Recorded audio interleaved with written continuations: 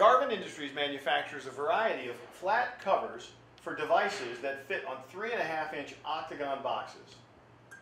As you can see, this particular model is made for a direct installation of a toggle switch, but we also offer a variety of other styles that include the installation of a duplex receptacle,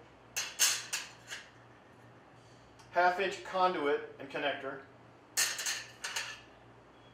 or two variations of single receptacles that fit directly on three and a half inch octagon box. For these and other great products, be sure to visit us online at garvinindustries.com.